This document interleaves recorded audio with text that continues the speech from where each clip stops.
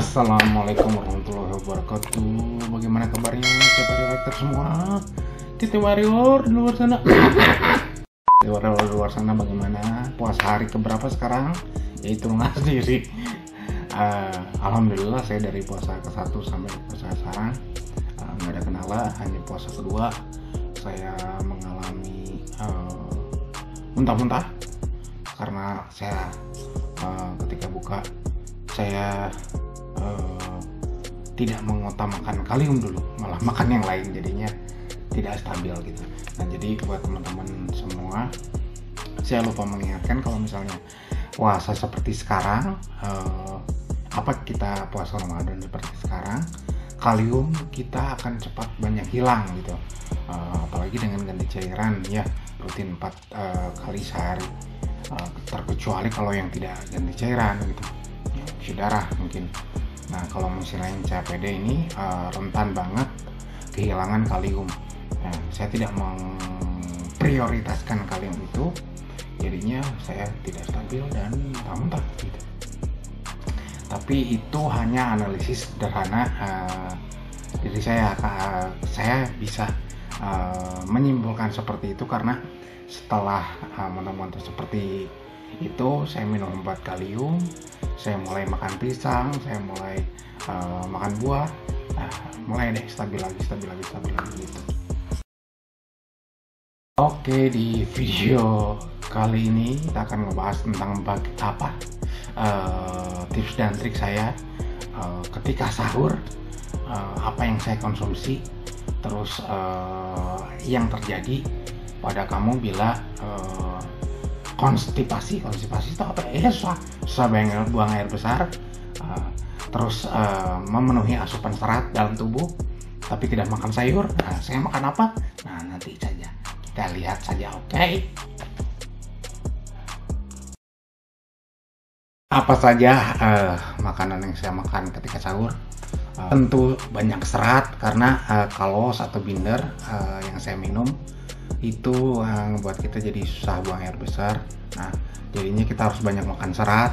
Kalau misalnya kita kurang serat nantinya semakin susah buang air besarnya.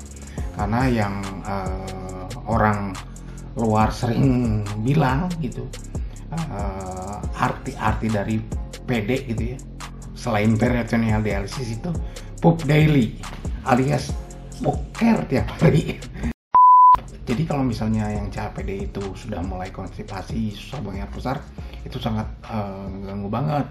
Apalagi kotoran yang ada di usus kita itu nggak keluar jadi uh, takut nantinya malah uh, ngeganggu uh, rongga peritoneum kita uh, which is rongga peritoneum kita itu berada di uh, depannya usus itu loh. Jadi uh, menjaga uh, kelancaran pencernaan tubuh itu penting uh, bagi seorang CPD fighter gitu.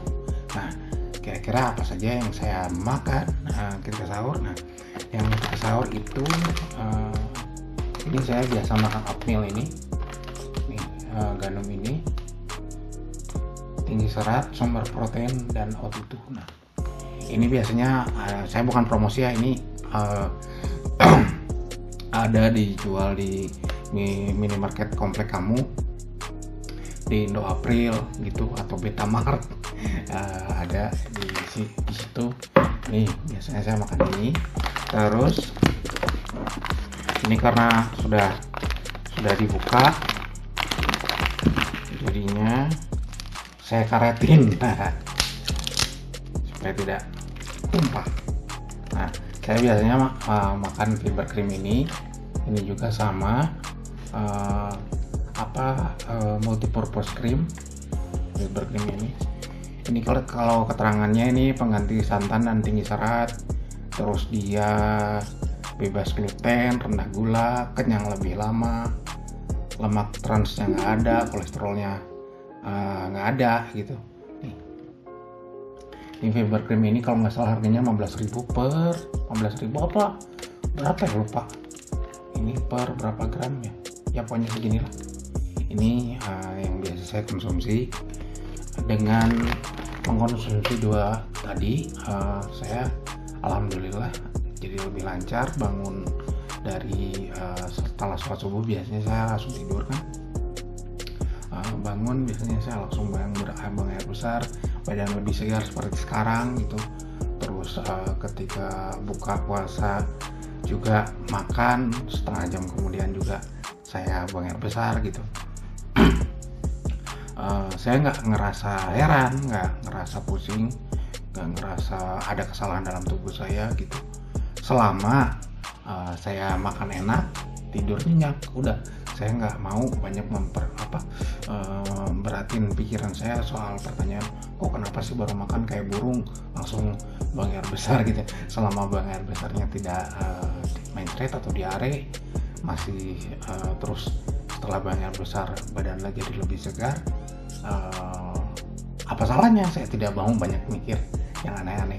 Yang jelas uh, pencernaan saya jadi lebih sehat gitu.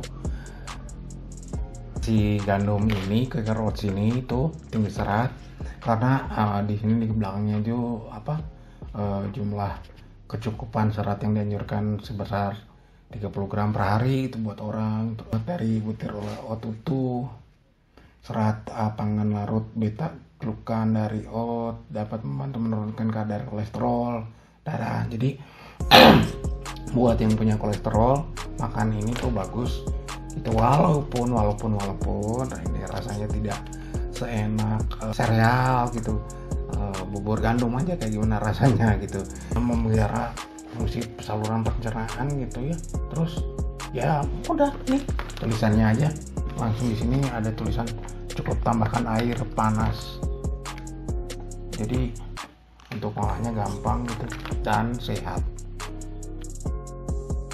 Kenapa sehat? Saya bisa um, apa percaya ini sehat. Karena ke tubuh saya juga enak. Jadi saya lebih lancar bangnya besar terus uh, tidak banyak keluhan gitu.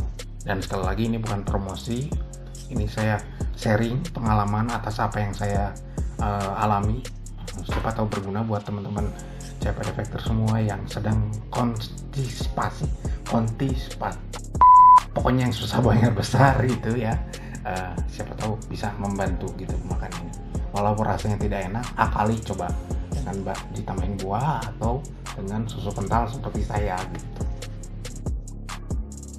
nah ini video saya uh, bagaimana saya mengolah makanan uh, nah apa uh, gandum tersebut dan krim tersebut uh, ketika sahur. Itu dia nih videonya videonya videonya. Check it out.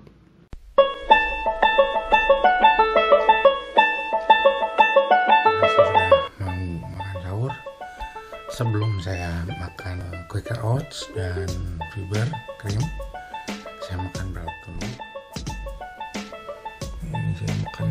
nasi goreng dan ayam. Sedikit saja. Jadi langsung dilanjut dengan makan